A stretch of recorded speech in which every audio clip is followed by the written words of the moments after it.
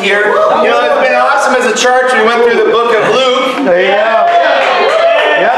Then we went through the book of Acts. Amen. And we finally completed our first principles course. We're going to do that every autumn. Every autumn, we're going to take uh, those that are, are new to the movement, new to the church, new to Christianity, and walk them through the first principles. Not teaching them the first principles, but rather teaching how to teach the first principles. Amen. That's how you grow as a Christian. Maturity is not determined by age. It's not determined Yeah. by longevity or how long you've been in the church, but rather by your fruitfulness and your ability to teach other people to obey the Bible. Come on, bro. Every Sunday there are churches, thousands of them, that present the Bible. The Bible is the Word of God. Even if you don't know what you're doing, even if you don't have any faith, you can present the Bible. And it says that the Word of God never comes back empty. It Amen. always accomplishes its purpose. That's right. But there's a, a vast difference between teaching the Bible and teaching somebody to obey the Bible. Come on, bro. There's a, a, a grand canyon of difference right there. Yeah. You with me? Come on. That's what makes us different, is that we expect unquestioning obedience not to any man, but rather to the Word of God. Amen. The Bible part about that is the Bible's always presented by a man or a woman who is imperfect. Yeah. And it's not a question, you know, discipling is the scariest thing in the world. Yeah. Discipleship, it, it- it's scary because you have to trust in God. Yep. Therefore, trusting in God, you'll be able to trust people who, not, it's not a question of if they'll hurt you, but when they'll hurt you and how bad they'll hurt you. Yeah. And then you'll be challenged, and, and your Christianity will really be brought into the light to see whether or not you can forgive your brother or your sister from the heart. Amen? So that's why we teach first principles. Now, next fall, we're going to have a mature class. And that doesn't mean, hey, I've gone through first principles 30 times, so I get to go to the mature class, amen. I'm just bored with it. No, maturity is defined by fruitfulness. Amen. So if you ain't being fruitful, you ain't mature, you need to go back through first principles, amen. Come on, bro. Now for me, first principles is like Christmas. Christmas comes every August. I'm like, oh, it's so exciting. I love teaching the Bible. That's what it's all about. And it's going to be exciting as we see the church grow. Guys, this is very exciting. Yep. I want you to understand something. It's 2019. There you go. In one month, today's December 1st. I love the first of the month. Yeah. You get paid, you know, that's exciting. Yeah, yeah. You collect a check. There you that's go. Encouraging, right? You say, you say, it's the first of the month. It's a, it's a reset. It's a restart for all of us. It's December, the best month of the year. Yes. Come on. We're about to go in in 31 days to 20. Yeah. Yep, yep, yep. It's the beginning of a new decade. Yeah. It's 2020, the year of vision. Yeah. To see God do something awesome in your life, you gotta have great vision. I wanna challenge us going into the new year to start preparing yourself Come on. to compile a list of, of at least 10 personal goals. I would say 12, amen, because that's, that's an awesome number. There's 12 Yeah. To start thinking about what your kingdom dream is. Come on. You know what's awesome is today we've uh, started to collect the toys for our Mercy Toy Drive, amen? Somebody's gonna be a really happy guy, amen? I say, okay, if you forgot to, to bring your toy, don't fret. You can still get it tonight to your Bible Talk leader, amen? And, and we see that, that God's already doing something special. It's an exciting time. You know, we've got uh, Marley, he's got his Mercy shirt on. That's cool. Yeah, all right. Model it for us right there. You say, you know what's awesome? All of us are Mercy ambassadors. There you go. You became a Mercy ambassador the day you got baptized, amen? And it's awesome to have Maria here. She got baptized on Sunday. What's your kingdom dream? You say to be a mercy ambassador. Well, you already are. That dream's fulfilled. How about we get another kingdom dream that challenges you to grow? The Bible says that without vision the people perish. Here's what a kingdom dream is. It makes you nervous to say it out loud. Yeah. That's how I define a kingdom dream. You say, well, I want to be the full-time ministry. That's scary. Because once you say that, what are you open to now? You're vulnerable. You're open to disappointment. Amen. You're open to rejection. you're open to failure. That's what it means to dream big. Come on, bro. Yeah, it says if you uh, shoot for the moon, you land on the stars. Yeah. But the stars are actually farther than the moon, amen? So if you shoot for the stars, you land on the moon, amen? Come on. It's actually, and it's incredible because God wants us to dream big. God wants us to have a vision. God wants you to live in a way that scares you. When Jesus resurrected from the dead in Matthew 28, it says that the, the, the sisters, because it was the women that found him first, amen? The sisters, let's just be honest, they're more spiritual than us guys. There you go. There you go. It's true.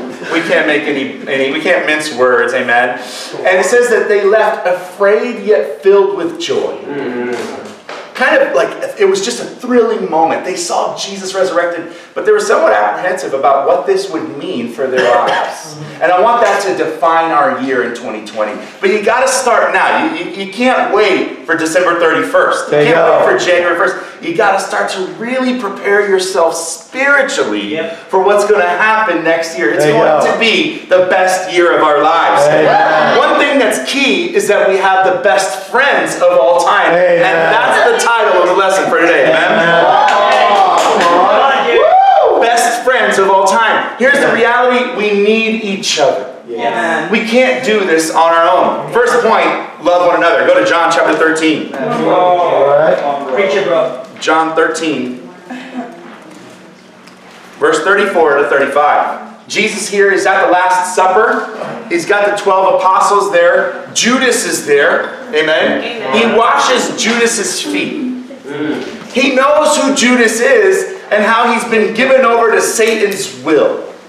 This is a guy who hates generosity because he's greedy. So he hates things like special missions contribution. And it says when the woman broke the alabaster jar of perfume, which was about a year's wages, he, he was angry about it and then cloaked his greed in concern for the poor. Oh, wow. You see, when we get unspiritual, we start to cloak our sin in like a spiritual concern because the line between wisdom and worldliness is oftentimes very blurry. Yeah. And what is worldliness can sometimes look like wisdom, and what is wisdom can sometimes seem like you're losing your zeal. But at the end of the day, we know that Judas cloaked his greed and this concern for the poor, but really, he was the keeper of the money bag and used to help himself to what was put into it. Amen. Now, that's a challenge for us right there because Jesus put Judas the thief in charge of the money. Yeah. That's, he was making a statement right there. He was saying, listen, God is in control. Yeah. It doesn't matter what Judas is doing. It doesn't matter what other people are doing around you. God is in control. Isn't that awesome? Because when you know that God is in control, you can live a life full of joy. You can live a life full of peace. You can totally trust in God that the good, the bad, and even the ugly God allowed it to happen or He made it happen to get you closer to being prepared to go to heaven. Amen. Any good thing happen to you this week? Yeah. Any bad thing happen to you this week? Sure. Anything even just downright ugly, just downright, maybe it was your own sin that you started to face in the mirror. He said, I'm an ugly man. I'm an ugly person because of what I've done. I've got to deal with that. God allowed it to happen. Because maybe if it didn't happen, you'd be too prideful to be sitting in this room this morning. Come on. See, to be a disciple in God's kingdom, you got to be humble. Amen? Come on. To hang out with us, we're not that awesome. You got to be humble. Come on, brother. I mean, Marley's a humble guy. Oh. That's why he was able to become a disciple. Uh-huh. Lisa's a humble lady. That's why she was able to become a disciple. If you come in here prideful, you'll start to think that you're better than other people. Really, what you think is that you're better than Jesus. Come on, bro. Because who did Jesus hang out with? The prostitutes and the tax collectors. He hung out with the sinners. He would have hung out with the likes of you and me. That's right. He said, These are my people. These are the people that see their need. These are the people that get it. Come And on. here he is at the Last Supper. After washing Judas's feet. And listen to what he says in verse 34. On, A new command I give you.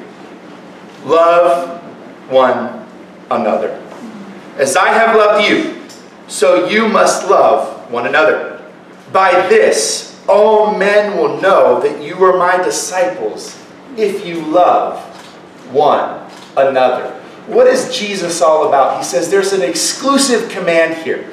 We know in Matthew 22, 37 to 40, it says you gotta love your neighbor as yourself. You gotta love God with all your heart, soul, mind, and strength. Love your neighbor as yourself. And you say, who's your neighbor? Everybody, amen? Yeah. This is a different command because it's exclusive to the disciples. He says, in this group, at this table, this brotherhood, this sisterhood, you need to love one another to the extent that I have loved Come you. on. Come on. It says, you know, it's not, you know, you've heard people say, well, I love you, I just don't like you. That doesn't count, amen? You, you gotta love your brother and your sister, and you gotta like your brother and your Yeah. sister, amen? Yeah. There are people that you naturally click with. That's that's good. You, you might find like, man, we're the same kind of person. We like the same mm-hmm. kind of things. There's compatibility right there. But it says, even with those that you might not naturally click with, it says you gotta love that person.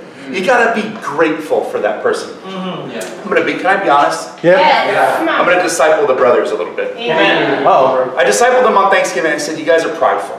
And they admitted that it was true. Very competitive, amen? We were playing basketball. God has protected me. He's insulated me from pride in that area because I'm sorry in basketball, amen? Sorry. I said, and I was trying to figure out what the issue was.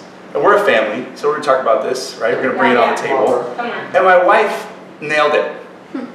She said, there's just a lack of gratitude. Oh, I said, that's what it is. Mm-hmm. There's a lack of gratitude. When you're grateful Yep. for your salvation, when you understand how little you deserve, you don't deserve it at all. When you realize, man, God has, has, has placed me in an awesome territory. He's, he's extended my boundaries. Mm-hmm. Yep. My life is great. That's right. You not only do you get grateful for God, you get grateful for your brothers. Yeah. You get grateful for your sisters. You're excited to serve them. Here, Jesus says you got to love one another the way that I have loved you. Believe it or not, Jesus was grateful for the guys. He says, I'm here as one who serves. I mean, he says, actually, in John, right before this, 13, if you pick it up there, it says it was just before the Passover feast. Jesus knew that the time had come for him to leave this world and go to the Father. Having loved his own who were in the world, he now showed them the full extent of his love. The evening meal was being served, and the devil had already prompted Judas Iscariot, son of Simon, to betray Jesus. Jesus knew that the Father had put all things under his power, and that he had come from God and was returning to God. So he got up from the meal, took off his outer clothing, and wrapped a towel around his waist. After that, he poured water into a basin and began to wash his disciples' feet, drying them with a towel that was wrapped around him. You know, it's incredible. Jesus, in this moment, knows that he had been given all authority that he had come from God, he was going back to God. Why? Because he was God. Yeah. Yeah. He says his, his, his first act here, knowing that he's going to be the supreme being, was to take off his outer clothing, which would leave him vulnerable, so he'd be left only with his inner tunic. And he takes a towel, wraps it around his waist, gets down on his knees, and washes his disciples' feet. Wow. Maybe even beginning with Judas. Mm. Yeah. Um, isn't that powerful? Yep. That's how we have to love That's right. one another. Why do I publicly admonish the brothers? Mm. Because they're going to be leaders of men. Amen. Dozens of men, hundreds of men, maybe even thousands of men. Come on. This is, this is not to put anybody down, but rather to build a fire under us so that we can answer the call that God has laid out in His Come on, scriptures through Amen. discipling. Can I get an amen? Amen. This is the level of love. You gotta love one another. Hebrews chapter 12, excuse me, chapter 3, verse 12 to 14. Come on, brother. All right. Hebrews chapter 3, verse 12 to 14. We gotta be grateful for one another. Verse 12 it says, See to it, brothers, that none of you has a sinful, unbelieving heart that turns away from the living God, but encourage one another daily, as long as it is called today, so that none of you may be hardened by sin's deceitfulness.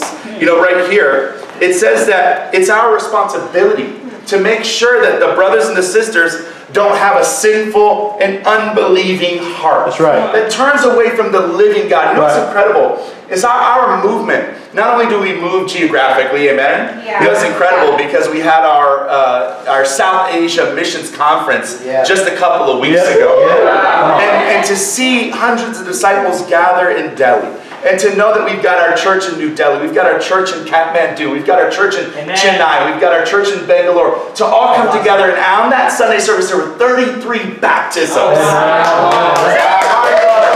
now, what's remarkable about that is Raja and Debs Rajan came out of our former fellowship to begin a remnant group in Chennai Yeah. Um, with just a few people. Yeah. To see now that there are nearly 400 disciples on the Man. subcontinent of India is just incredible. And you know what? I mean, we get to partake in that because that's a part of our world sector, the That's right. sages. Amen. What does sages stand for? South Asia, Gulf and Eastern states, amen? So we, we get to take care of India. We get to consider what is happening. We're directly connected to that going on down there. That's incredible to see what happened in Sydney, Australia, because right before that conference in Delhi, there was the conference in Sydney, the Austral-China Yeah. conference. And to see what Joe and Carrie Willis have done there, they've been there for, I think, uh, since 2014. It's been about five years. But to see all the Chinese disciples, Amen. I mean, they really got the Asian persuasion going on down there in Australia. We're not too far behind. We, we've got Mary, Kim, and Ralph right there. The Asian persuasion. And, and to see all, I mean, just incredible people coming to faith in Jesus. Some of them being severely persecuted because of their atheistic background. Coming from communist China. We've got our church led by Dean Lam there in Hong Kong. Now, now, the other churches in China, we can't even mention the names of the leaders or the cities that they reside in. We call them Crouching Tiger 1, Oh, yeah. Crouching Tiger 2. And at the end of the conference in Sydney, we sent out Crouching Tiger number 2. To see what God is doing. I mean, I don't know about you, I want to go to Sydney and meet all those disciples. Amen. You know where you're going to find there? Of course, we know we know Jerry, Joe and Carrie Willis. We know some of the other leaders there, the Valenzuela brothers and all that. But to see all those baby Christians, those new disciples that have come to faith. You know, it's incredible. There in Manila, we've got Ricky Coe Chalinor. And the church has grown by almost a hundred this year. Amen. Just baptizing dozens and dozens and dozens of people. One of one of the uh, the young disciples that were that was baptized, a teen girl, was severely persecuted because she comes from what is the kind of uh, ISIS-controlled part of the Philippines. She was physically beat by her sister. The disciples that were present outside of her home were also physically abused by their family. One of them being Carlos Robielos, who I know very well. And she was she was taken out of Manila, sent back to her homeland, but she stayed in contact. They even took her Bible away. She's staying connected, watching sermons, and then at her school, her teacher gave her a Bible so oh she could have quiet time when she got to class. Wow. She's faithful. You see, that's what God is doing. We, we're moving geographically. We've got our church right here in the greater Tampa Bay. You got to get a vision for Florida, amen? There you go. That's right. Yeah. You say, wow, I- it's so exciting, but not only do we move geographically, we move doctrinally, theologically. What does that mean? If the Bible says something that we're not doing, we're going to change That's our right. idea and do what the Bible says. That's right. We- We're not dogmatic. We're, we're not the religious. We're spiritual. We're religiously devoted to Jesus as our Lord. Yeah. That's right. We follow him as disciples. So the Bible presents something to us. It's not like, well, that's not the way it happened for me. It doesn't matter how it happened with you. The only thing that was important is that you studied the Bible, you repented of your sins, you obeyed, you made Jesus Lord of your life. Because when you got baptized, you said, Jesus is Lord. and you became a disciple when you got baptized. All your sins are forgiven. You say, well, what's God doing now? That never changes. But you see, the Bible moves us. Yep. The Word of God is living and active. We've got to be physically, or excuse me, spiritually fit. Come on, bro. Physically fit's good too, amen? Amen. 2020 goals right there. Come on. We gotta be, we gotta be spiritually nimble. Yeah. The scriptures say that the men of Israel knew the times and they knew what God's people should do. Yeah. You need to be guided by the Spirit Come in your on. life. Amen. You know, the Holy Spirit that you get at baptism is like a compass. You know how compasses work? Yeah. By the magnetic field of the earth, and they always show you true north. Yeah. Amen. If you've got the Holy Spirit because you were studied with, you repented of your sins, you were made into a disciple, you were baptized as a disciple, you, your sins are forgiven, you got to get to the Holy Spirit. Now it says that Spirit will guide you. What's the magnetic force? It's the Word of God. Come on. You see, the, the, Yeah. the Word of God, Right. Ephesians 6 says it's the sword of the Spirit. Mm-hmm. It's the thing that directs your heart and your thinking, empowered by the Spirit itself. But without the Bible, you're kind of left wondering and wandering. Amen? Mm-hmm. It's the Word of God and the Spirit of God that direct you to know what you ought to do in your life to stay spiritually nimble mm-hmm. to stay spiritually fit, to know what God is calling you to on, do bro. today. Now, if there's confusion in your life, I'll tell you where it comes from. It comes from sin. Come on, bro. Is it easy to walk around in the dark? It's hard.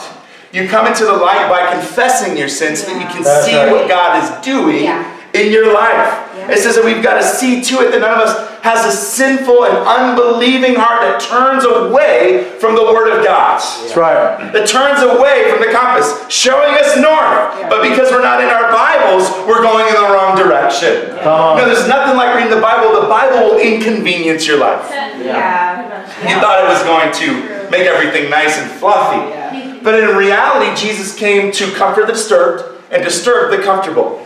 And you know, when you haven't had some great time with God in the, in the Word, it's because you're a bit afraid of what you're going to have to do once you start reading it. Come on, bro. Because you know, once you start reading it, you're going to have to obey it. There it is. But you know what? It's fail proof. Every time you really read the scriptures, if you need advice on where to go, get some. Amen. Amen. And every time you really read the scriptures and you obey it, what happens? Man, you just feel so fired up. Come on, bro. Are you fired up this morning? Come on, bro. Are you filled with zeal this morning? Come on, bro. You cannot manufacture it. You cannot fabricate it. You cannot fake the funk. That's right. Come on, bro. If you're a hypocrite, you're going to try to look like you're fired up, but you're not really fired up from the Word of God, and it's going to fall every time. Why do you keep getting into sin? Because you're not reading the Bible every day. Preach, bro. You know, we just had Thanksgiving, and I ate until I couldn't eat anymore. We had Dini over for Thanksgiving, and I saw him going for the apple pie and the ice cream and the whipped cream. I said, Dini, no, don't do it. And then he caught me with the pecan pie. Oh. He said, you eat one piece of pecan after another. You eat one piece of pumpkin after another. You eat one piece of apple pie. You put on the ice cream. You even wash it down with some eggnog. You watch the Cowboys lose. Yeah. Woo. You doze off. You wake up. You're hungry again. Oh. You see, God is trying to teach you something. That you need to rely on Him every single That's right. day. Amen. If I offered you a scrumptious meal today, you say, No, I'm fine. I ate yesterday. Hmm. No, you eat every day. That's right. Unless you're fasting, amen? You see, from the scriptures, we've got to eat every day. Turn Come your on. Bible to Ezekiel. Amen. Come on, bro. Come on.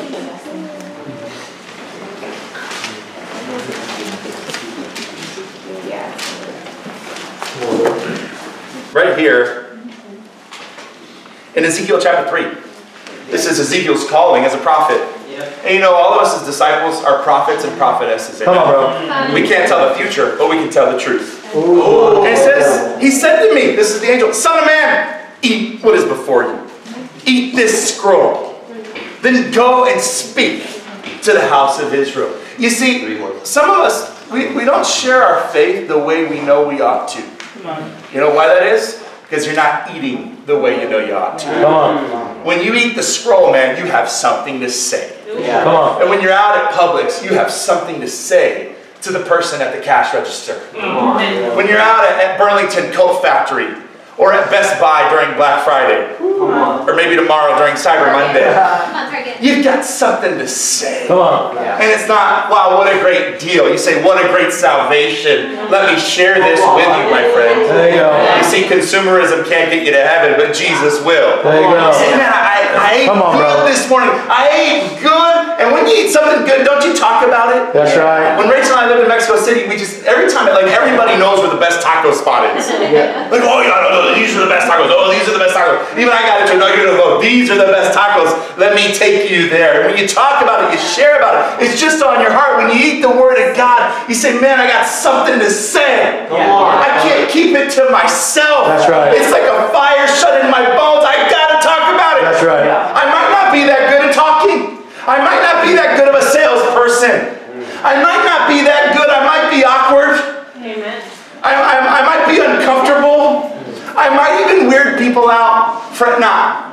God can use you. And if you are not being used by God, it's because you don't want to. And God can use the rocks and the trees That's to right. speak His words. Yeah. Come on, bro. He can use any one of us right. to make a huge impact, not only in the lives of our family and friends and loved ones, but in the lives of complete strangers that become family. Yeah. yeah. He says, Eat this scroll and then go and speak. So, verse 2, I opened my mouth and he gave me the scroll to eat. He said, I may eat the scroll I'm giving you and fill your stomach with it. So I ate it and it tasted as sweet as honey in my mm. mouth. He said, It was just phenomenal. Come on. It was just awesome.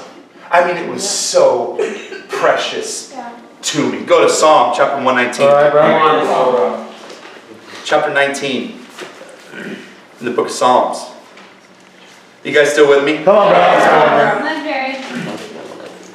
In verse 7, it says, The law of the Lord is perfect, reviving the soul. The statutes of the Lord are trustworthy, making wise the simple. The precepts of the Lord are right, giving joy to the heart. The commands of the Lord are radiant, giving light to the eyes. The fear of the Lord is pure, enduring forever. The ordinance of the Lord are sure and altogether righteous. They are more precious than gold, than much pure gold. They are sweeter than honey, than honey from the comb. By them is your servant warned. In keeping them, there is great reward. It says God's commands, God's word, God's law is perfect and flawless. right. It's worth more than gold, than much pure gold. Come on. If I gave you much pure gold, I don't know how to quantify that. Let's say it was a lot. Yeah. It says, if I had a choice hmm. between the Word of God and much pure gold, I take the Word of God every single time. Come on. If I have to move for the movement, I move every single time. Yeah. Come on. If I have to crank for the Lord, I crank every single time. If I sacrifice for God and for the Word, I sacrifice on. every single Come on, time. Why? Because it's flawless. Come on, bro. It's perfect. It's sweeter than the sweetest. Come on. This this is how we love one another. You eat the scroll and then you speak the scroll. Come on, bro. Yeah. You get close to God so you can get close to one another. You know, Ephesians 2 19 to 21 talks about being in the family of God.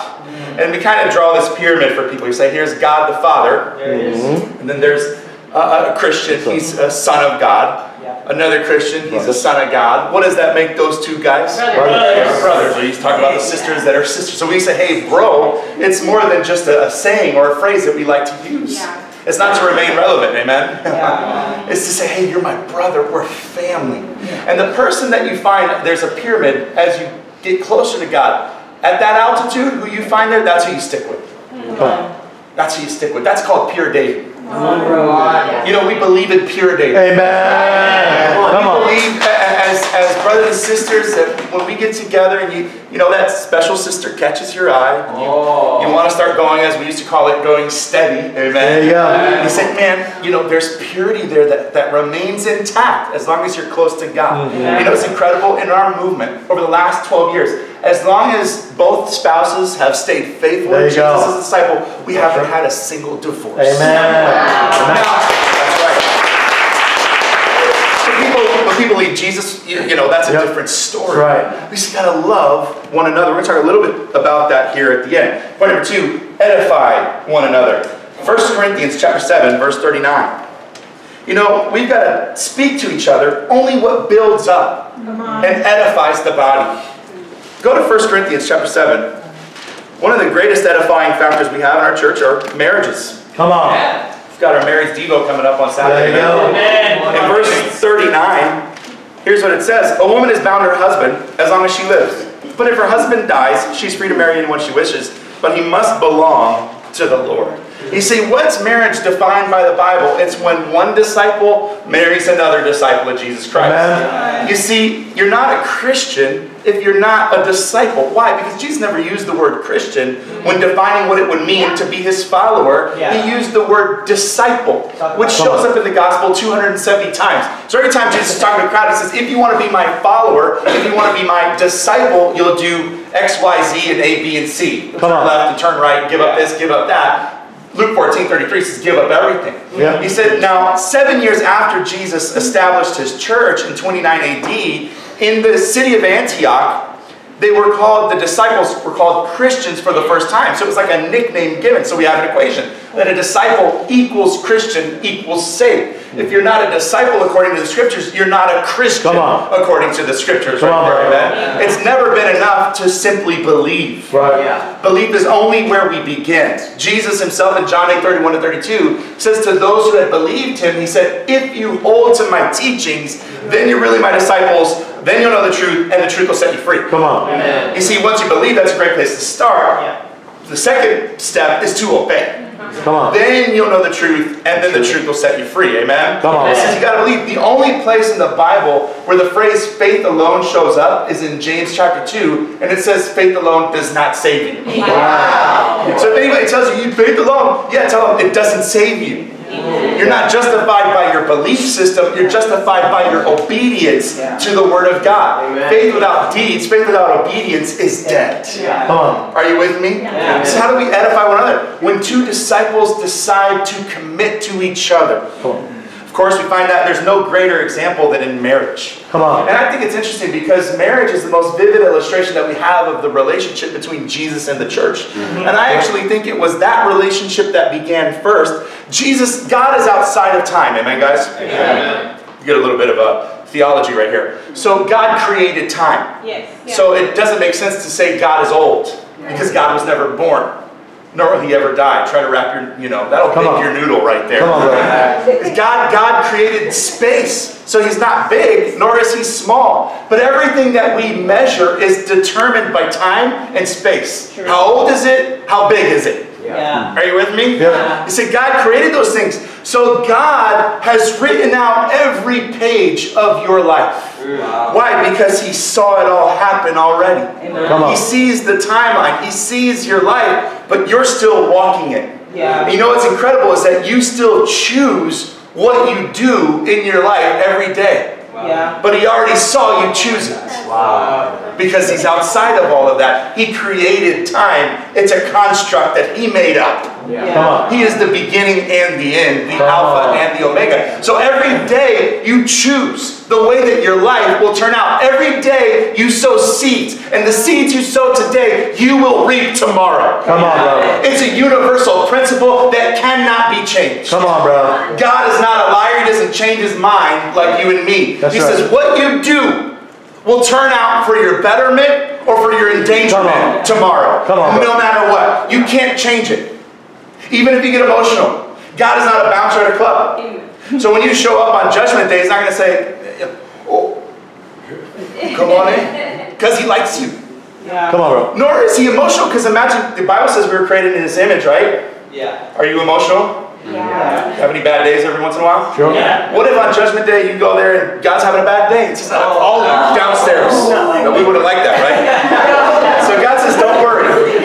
You're judged by my word. There I'm not going to judge you arbitrarily. The word is set. You got to do what it says. If you do what it says, you're, you're, you'll get off scot. it is. Come on. Because as disciples, we go through our judgment here and now Yeah. so that we don't face judgment on that last day. Amen. But we're led into heaven. Isn't Come that going to be awesome? That's right. Where Jesus has prepared a place for us to be. That's right. But it says you got to choose today what you're going to do as a disciple. You know, it says here that marriage is in the Lord. So if he created that relationship and then invented the idea of a man and a woman being married to teach us about how to act in the church. Come on, bro. You see, when people get sentimental and they start making decisions based on what the people in their lives want instead of what God wants, they misunderstand the concept of family. You see, your physical family is the spiritual family doesn't teach you about the physical family. The physical family teaches you about the spiritual family. Hmm. The spiritual family was first. He gave you a mom and a dad and brothers and sisters and aunts and uncles to teach you how to behave in God's kingdom. Yeah. Isn't that intense? Come on. So what does Luke 14 say? It says, you know what? I don't want you to think I'm misquoting it. Let's go to Luke 14, There you go, bro. amen. There you go. There you go, bro. Some of you are about to start, no, it doesn't say that. Luke 14, it does. Yeah. Come on, bro. Come on. Can I get a witness? Come on, bro. It says here in Luke chapter 14, verse 25, large crowds were traveling with Jesus and turning to him and said, If anyone comes to me and does not hate his father and mother, his wife and children, his brothers and sisters, yes, even his own life, he cannot be my disciple. Mm. It says these people need to take a second place in your life. Yeah. Why? Because they're the ones that could potentially influence you the most. Mm-hmm. Your husband or your wife. Yep. They're not if they're not faithful to Jesus, they're going to try to pull you away. Yep. They're going to try to condemn your behavior because they feel condemned themselves. Come on. Your, your mom and dad, your brother, your sister, your, maybe even your own kids, depending on the situation.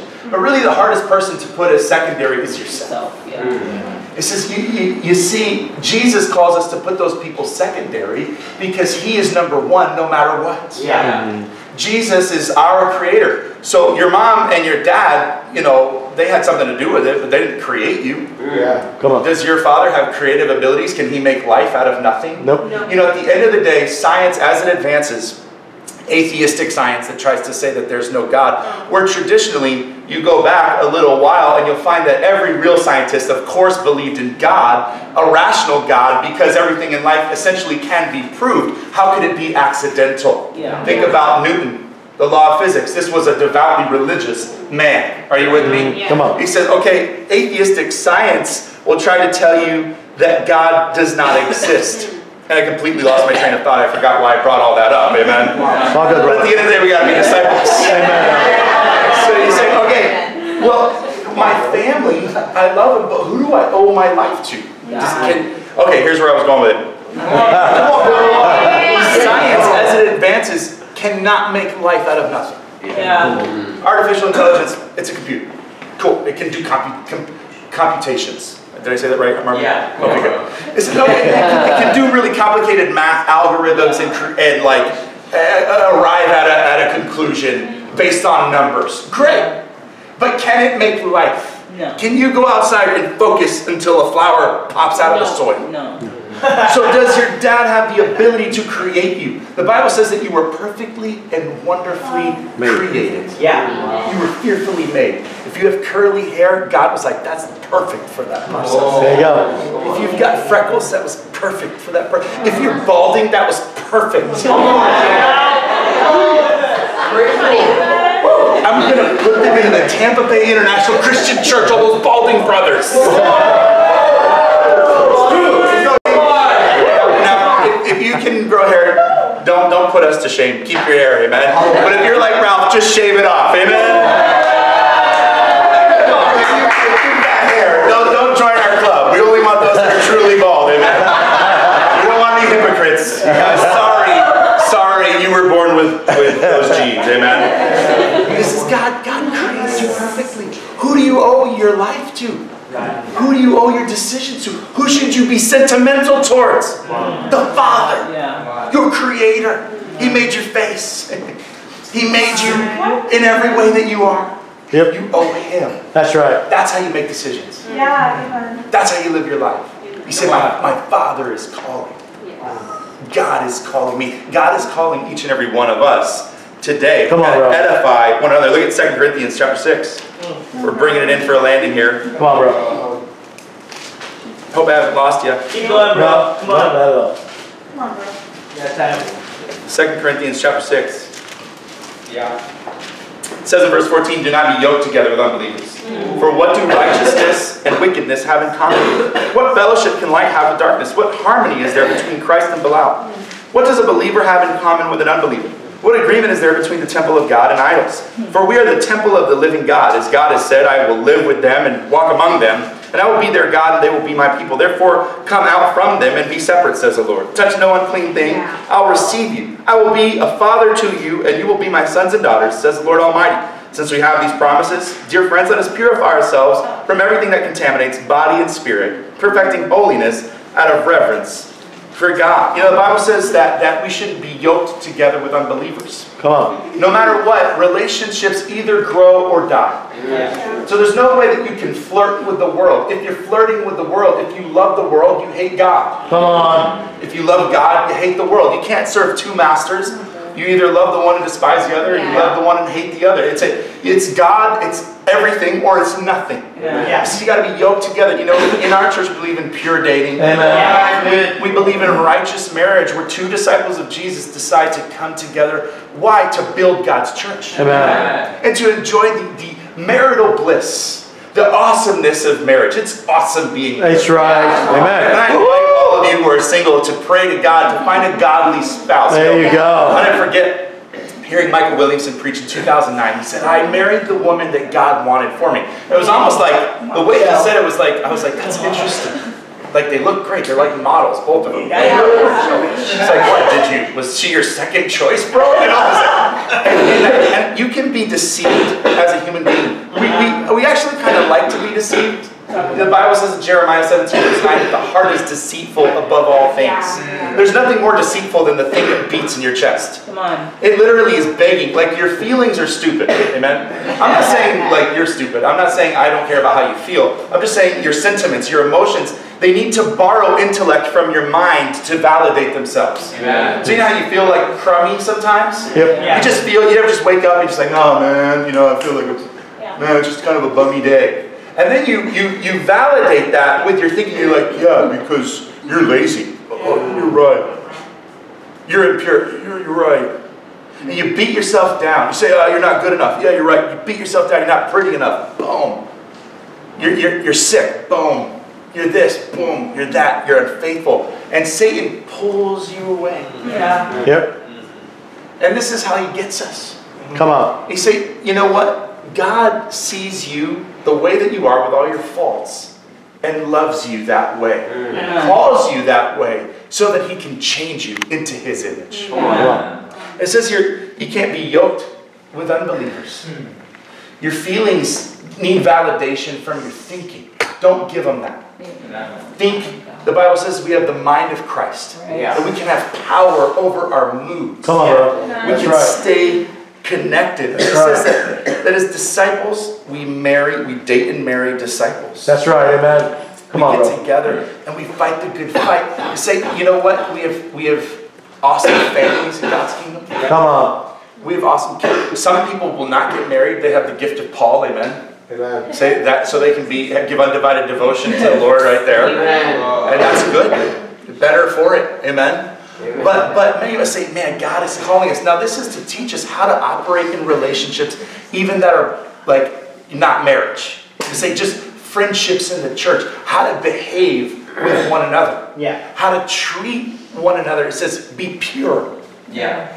Come into the light. Yeah. Do not be yoked with unbelievers. Amen. Amen. Come. In the Old Testament, people that, that intermarried with those that were not of the nation Mm-hmm. of Israel it says that they were led astray to worship Yeah. false gods. Yeah. Solomon himself, this guy had 300 wives and 700 concubines. Yeah. I mean, this guy was in over his head. And Yeah. what happened? He was led astray to worship other false gods because of the women that he yoked himself to. Yeah. So you gotta lead people. Relationships either grow or they die. They don't stay stagnant. So I want to encourage us Come on, to bro. grow in the right way. Amen? That's right. Edify one another. Respect one another. Be grateful That's for right. each other. Point number three as we close out. Win one another. Go to Matthew chapter 18. Now, what's inevitable in God's church is that there's conflict. And we're masters at resolving that conflict. Come on, bro. Amen. Matthew chapter 18, It says here in verse 15 If your brother sins against you, go and show him his fault. Just between the two of you. If he listens to you, you've won your brother over. But if he will not listen, take one or two others along, so that every matter may be established by the testimony of two or three witnesses. If he refuses to listen to them, tell it to the church, and if he refuses to listen even to the church, treat him as you would a pagan or a tax collector. The Bible gives us the perfect prescription for conflict resolution. You know hmm. what? At the end of the day, there's no doghouse in God's house. Come on. We're in the business of forgiveness. Amen. Amen. It says if somebody sinned and you see that sin, you can see it clearly. It says you should go point out their fault. Now that can be easily misconstrued as go and let them know what's up. No. Come on, bro. And this is this is a powder keg. You can go in there and, and misspeak or misstep and there's an explosion. You ever Yeah. try to correct somebody in yeah. something that you see and it not quite go the way that you thought it would? Yeah. And then you just say, well, they're unspiritual. They should just be humble and listen to me. Well, who are you? Yeah. They said, "What's your? How do you do this? What's the What's the prescription?" It says you got to go and win your brother or your sister over. So say I see somebody sin. I see Marvin sin. I say, Marvin, what are you doing? Now I'm allowed to talk like that to Marvin, amen, because he's my, my, my son in the faith right there, amen. you knucklehead, you know, he's like my little brother. And I give him a noogie. They say, if, if, if he feels super deeply hurt by me or disrespected or something like that, is that an effective way to win him over? No. They say, bro, I can't believe you did this. You start kicking stuff over, you know, you, you, you, you, you're condescending, you speak down to people or whatever. Is that going to win them over? No. no, it doesn't win them over. It's not really about winning them over for you, it's more about just being right. Yeah. But the Bible calls us to be righteous over being right. Come on. Yeah. Jesus was, was proved wrong, and when he was accused, he made no defense. Mm-hmm. He didn't care about being right, he cared about be, remaining righteous Amen. Yeah. and took on the crucifixion for us. You say, how do you win somebody over? You say, hey, bro, say somebody's hurt. Now, when you get mad, how do you know you've been hurt? Because you're mad about it. Mm. Yeah. You say, I'm mad at this brother, I'm mad at this sister, I've been hurt. You say, hey, bro, I just want to talk to you. When you said this, it really hurt my feelings. And I want to apologize to you because I've been harboring some bitterness and some, some resentment. Please forgive me. Mm. Yeah. You think that's effective at winning them over? Sure. really effective. As when somebody talks to you like that, you're like, no, no, no, no. Please forgive me. I'm so sorry. Yeah. He says you, you speak up to one another. Amen. You edify one another. You build each other up so that you can win one another over. Come on, bro. This is the call for us as Christians to resolve any conflict here within so that we can win the world Amen. outside. That's right. Amen. So this is this is how we do it. What is it going to take? What's what's our greatest witness? What's our greatest strength and our greatest power to evangelize the nations in this generation? Our love one for another. There you go. You say to have the greatest year of, of our lives in 2020, we need the best friends of all time. Amen. Come on. You know what that means? Is that you gotta love one another. You gotta edify one another. And you gotta win one another. Amen? Amen. I love you guys very much and to God be the glory.